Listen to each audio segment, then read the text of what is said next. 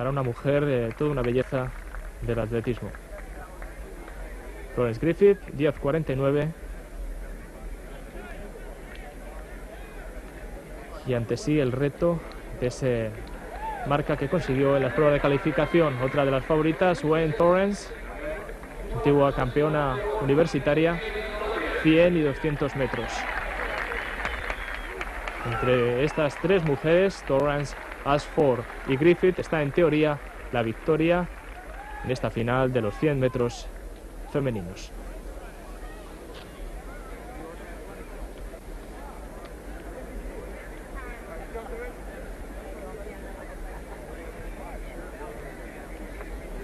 momentos de la concentración.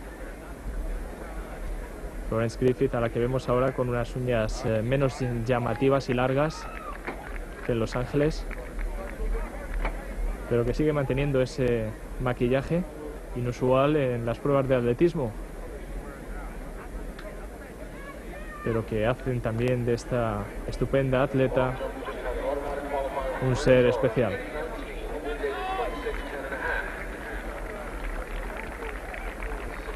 Alice Brown, Torrance, calle número 3, 5 para Evelyn Ashford y la 6 para Florence Griffith Joyner, que son en definitiva las eh, tres atletas que cuentan a la hora de conseguir los tres primeros puestos.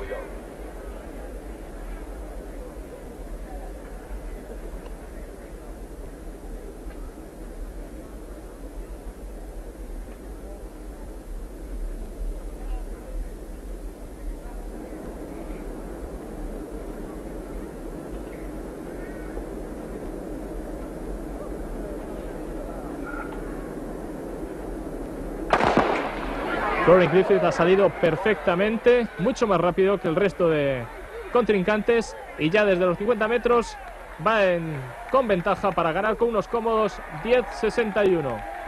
Griffith ha vuelto a dominar con total claridad en esta prueba de los 100 metros.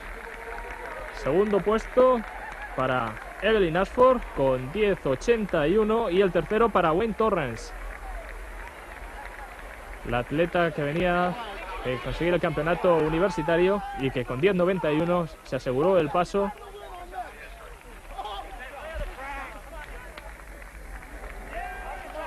A Seúl.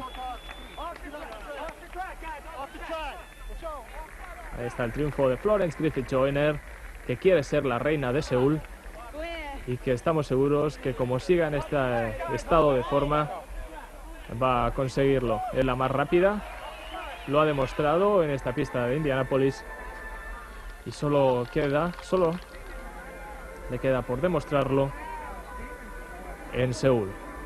Ahí la salida. La zancada poderosa de Griffith, una mujer que ha progresado magníficamente en estos eh, cuatro años que van desde Los Ángeles y era una gran atleta, pero ahora se ha convertido en la mejor velocista del mundo.